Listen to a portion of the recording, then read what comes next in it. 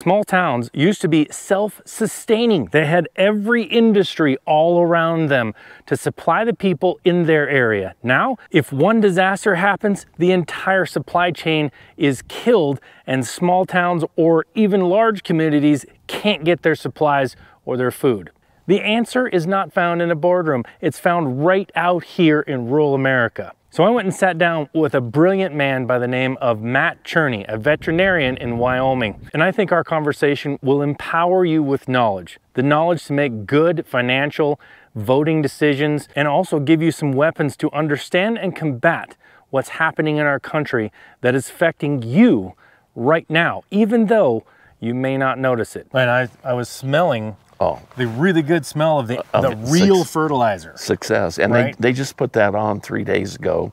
It came out of the feedlot. It's uh, it looks like almost pure compost. But it, it you know this is a kind of the whole thing of regeneration without having to come in here and spend thousand dollars a ton on fertilizer when you can do it naturally. And you know that's to me that's what we're kind of missing in in today's agriculture is the attempt to recreate what basically God did, and that's recycling nutrients.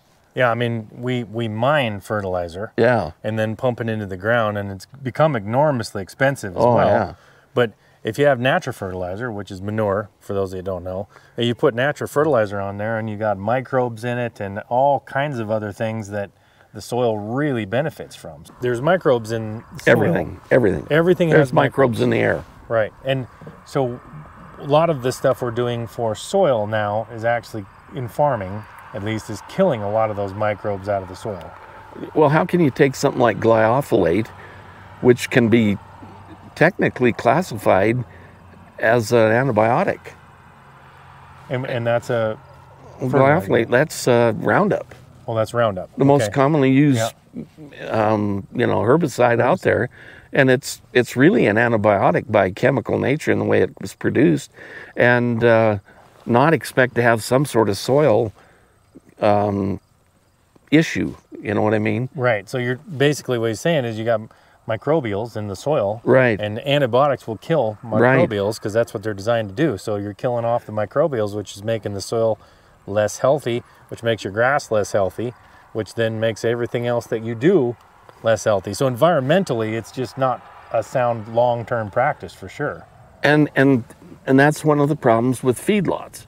Most people that go into a feedlot, especially the big ones, they're pushing this feed just as fast as they can go. So they're using a material which is an antibiotic, Tylan, to to try to cut down on liver abscesses.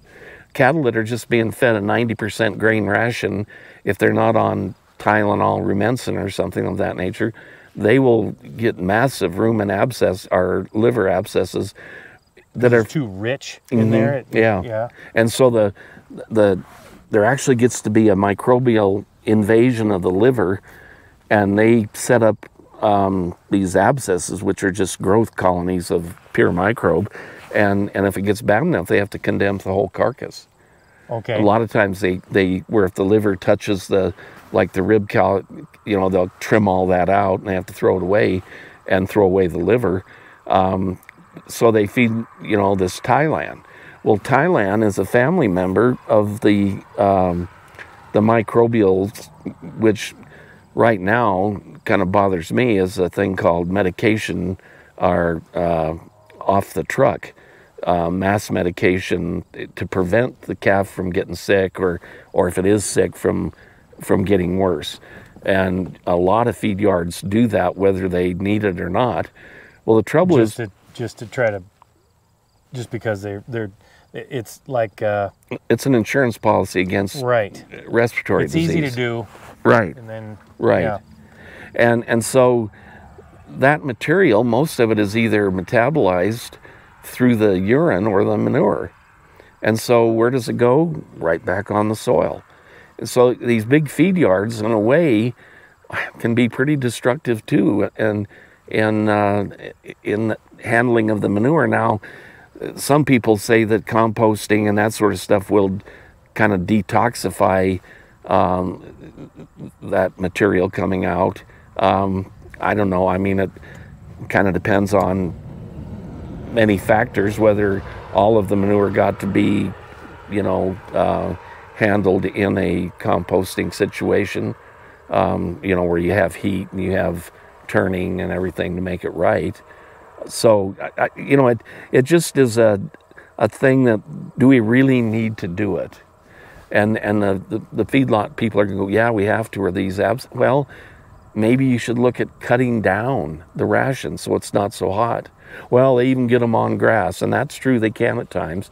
But um, in a way, I, I think if you look at the, the possibility and see they're wanting to maximize weight coming out of these yards. In the shortest amount of time. Right, but they also want them to marble if they can. And yet they'll do things like implant and and feed the beta agonists and everything, which would destroy marbling, but they still do it. And, I see. And uh, well, in, in, in so we have this system in America where where the your the profitability is not is only at the really really at the top, right? The the retail level and the and the packer level. So I mean the like the numbers from the feedlots are they're losing twenty four dollars a head over the last twenty four years, twenty years or something, which it cannot be the case where we wouldn't have any feedlots. What you have is you have massive companies that are billions and billions of dollars in profit at the top. The like a, like Tyson and Cargill and uh, JBS and Marfrig. Those are the four companies that kind of control 85% of that business, and and then Walmart and Albertsons and Kroger's and stuff at the top of that. And these two areas, they are trying to make more profit, and they have enough power so they don't want to raise the they, they've kind of raised that price up to the retail or to the consumer as much as they can or or they feel they can so now to make more profit they need to push down on the ranchers and the feedlots which is, is the least path, path of least resistance right so we've created a system where these feedlots then need to feed the or they they think they need to feed them as fast as possible pour the grain to them and since they're since that is really hard on the animal system then you have to then they try to give them all this medications and stuff and antibiotics before they even need it. Right. They're putting right. in feed typically, right. correct? That the the Tylan and Rumensin too. Now Rumensin they use as an anti-coccidiostat, which is a protozoal parasite that can cause tremendous damage. It causes anemia and cattle can bleed to death and and so Rumensin is put in the the rations for that. Um, but then, like the Tylan is to prevent the liver abscesses. And so, I mean, you know, we've created these problems that mm-hmm. Years ago, excuse me, we didn't have. And, you know, sometimes the best way to the future is to look back and go, how did they do it back there that they didn't have this issue? That they weren't having that issue, yeah. And and I just attended the Academy of Veterinary Consultants meeting in conjunction with uh, the uh, fifth year or whatever, every five years, this group um, on um, bovine respiratory disease gives their report. And it was at Denver. And essentially, in the last five years, we have better antibiotics, we have better vaccines, we've got more sick cattle and more cattle dying in the feed yard. Right. It's not working. So obviously, better vaccines and better uh, antibiotics is not the answer to the problem. The problem no, is deeper than that. the that. problem is somewhere else. And so if you if you look at this a different way, if you go back, you know, 40 years, well, I guess it'd be 50 years now, we had a different system, right? You have more, um, you well, had a whole bunch more outlets Right. Except for just one or two companies right. controlling everything. Right. So you had feedlots spread out everywhere, smaller feedlots right. that did things a little differently. And, and smaller packers. Smaller packers, a lot of them. smaller retailers. Yeah. And they were all more regional and right. local. Right. So you you didn't have this concentrated system where you're trying to force it through and squeeze every last dime out of it at that point, right? Mm-hmm. And and there's several problems to that. If I, I see a, any kind of world disaster, economic or or uh, let's say even catastrophic as far as weather concerned, the way our system, food system is worked out now, on top of all this health stuff, you're gonna you're gonna have a massive food shortage if you shut down one of these food chains, which is controlling, you know, 25% of the food that goes to the United States instead of all regional and local. Well, here's the question we got to ask. When I was a kid, and again, I was born in 1954, and so, you know, I grew up around Sheridan, Wyoming. And in 1960 or so, Sheridan, Wyoming had a creamery, Right. which means we had small dairies supplying it. We had the flour mill. We had um, Sheridan Meat Company. Mm-hmm. which is, which is grain, which is like Yeah. wheat and stuff. Going well to make. Right to, Right. to actually become flour local Yep. consumption um, and we had uh, I'm trying to think of the last well we had Sheridan Meat Company which was a federally inspected meat plant Okay. oh and we had Holly Sugar so we were a cell, and then we had Acme Power Plant we were a totally is- self-contained community This was is eighteen thousand people now, yeah right? So it's probably a little smaller then. yeah we were probably around 12 Yeah. And you had all of those industries. yes Right there. yes Yeah. To- totally it, it didn't matter what happened in Chicago Sheridan was fine Exactly. So why have we given that up? That's the question we got to ask. Why have Americans really given up their freedom to create these things that are and like you said if something happens Sheridan can only last about 6 days now. Right. We And they're gonna be out of anything here. food. Yeah, there's- you, there's nowhere to go for if you have you got you might have grain, but there's nowhere to make it into flour. Well, we don't even have grain anymore because you know Well, right, it's all shipped away immediately. Yeah. Right. But but this community used to have some grain production, small grain. But because there was no those things are all gone, all you know, Yeah. They they they And the elevators are gone. yeah, they, they they don't if they if they raise barley, it's to produce hay barley. The forage hay right, barley. cut it for hay and feed it Right, to cattle. right. They don't- Or, or and sometimes like up north they have, you know, for Budweiser or something. Right. But they don't have a plant. They don't have nowhere to go with it. Right. So the farmer doesn't have anywhere to sell it except Right. for right to one of these big companies like Cargill. Yeah, if they're there the picking it up. Yeah. Like down here, they wouldn't they, wouldn't, wouldn't even mess with us bother. Because there's not enough to, to do anything. So anyway, we we as a society have let that happen, Mm-hmm. and and and f- for what purpose? I still haven't figured that out. Because no matter what you do, let's oh we can we can raise them cattle down them big yards a lot cheaper than you guys can. Right. But the issue is, okay, you got freight down there, and then you got freight with the meat back. And you've mm-hmm. got an over concentration of animals that probably are in a place they shouldn't be, which then becomes an environmental nightmare if you have too much snow, rain, whatever. You know, that country can't handle it. So it gets in the rivers and, Yeah. and Disease. I Yeah. mean, when you concentrate literally 170,000 head in one spot. and they turn that over two and a half times a year. so he's like 170,000 head at a time, but Yeah. that's that's going 170,000 head are in there, out, and another set 170 Yeah, basically. in and out. So that's 340,000 in one Right, spot in Right. a year. Right. So that's what we're talking about. Is it that doesn't make any sense? It, you're concentrating all the waste, Right. all the, and if you're putting all these antibiotics and all this bad stuff that's coming out of them, you're concentrating all that in one spot too. Yep. Yep. So yeah, I, I, I think it's in the name of efficiency, and and here's what this is the word I've heard a lot is efficiency, and then I really thought it took me about a month to figure out what efficiency actually means. See, these guys help that co- I train think over. they pushed it up. This this is the steepest. It doesn't look it, but this Yeah. is the steepest grade on the Burlington Northern between here and Parkman. Really? Yeah, so Okay. they they need a lot of help getting over the hill because Yeah. those trains years ago there'd be a hundred of them. Now there's 150, and uh, you know they're they're pulling a lot of weight through here. But So, so just to finish my thought here, what I what I thought about is what efficiency actually means.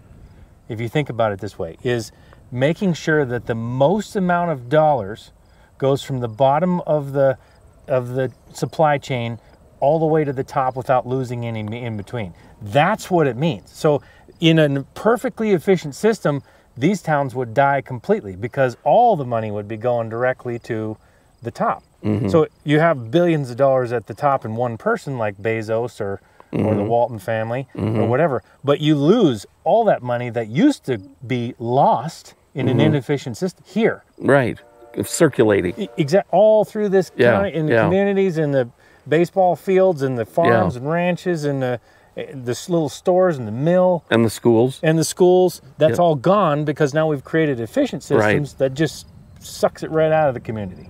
And and it's kind of funny. I had an argument once with, uh, I think it was Burt Rutherford. I don't know that you're very familiar with the. Uh, well, they're kind of gone now. The the cattle publications like Beef Magazine. Okay. Um, they may be online, but um, we got kind of a piss and match on efficiency, and let's. And the way I look at it, all right. Let's take. Let's say you. We, we've discussed that your your ultimate pyramid of things is prime Right. okay and and right now we're producing now the the big boys will tell you we're producing more than that but they're reporting like on this comprehensive box beef cutout weekly that we're only producing about 4% prime So what's a comprehensive big box beef cutout? So the box beef we've I've learned talked about before. Instead of dry aging, which is I, I believe a much healthier process, which is hanging on the rail, they cut it up immediately and put it in a bag and let it. well you're absolutely right about safety if there's any e coli in there it's just going right it in right there in yeah and- But but anyway, so the, the, beef comprehend i don't know why they what? call it i don't know why they call this thing it's a report it and it may even be daily but i only get it on my communication system weekly and it's coming from uh, the united states department of agriculture and it's a report on the week's kill another Okay, so how many cattle were went through the system? but they actually do it by loads of beef. And so there's like a total of 7,000 loads that are being reported on. Okay. And of which, you know, 3% are prime. And, and then there's like, uh, uh, they're, they're not breaking down be, premium choice and choice. They lump that all together and then down to select. Okay, But um, so select is like the it's, it's not very good. The grocery store stuff. A lot Right, of grocery right, store stuff. right. Doesn't have much marbling. and may not be labeled at all, in fact. it may not be labeled a bit. Yeah. Yeah. Exactly. and and so uh, it's the majority of the beef it's the majority of the ground and all that stuff but if we say to be ultimately in my mind efficient we'd have 100% of these cattle reaching their highest quality Right. but Right. in reality we're at 3 or 4% Right. so somewhere we're we've got 96% inefficiency Exactly. If, if that's what you're calling efficiency, yeah. Uh-huh. well to me it should be Yeah. you, you know you can't you're turning, you're, you're taking grass and you're, if you're, if you can take 3%, basically you're taking the nutrients out of the ground and producing either a super high quality product or a low grade product. Right. With the same, with the same nutrients right so more efficiency would be you turn all that into a high quality product. That's where the money is. Yeah. Now maybe the money will disappear if it gets to be more of it. That's an argument they make. To become a part of what I'm doing to bring this message to everybody in America, make sure you join my community at lifeinthewest.com. I also think that if you enjoyed this video you just watched, you probably enjoy this next video right here. So make sure you click on that before you step away and go to lifeinthewest.com to join my community. Until next time, God bless.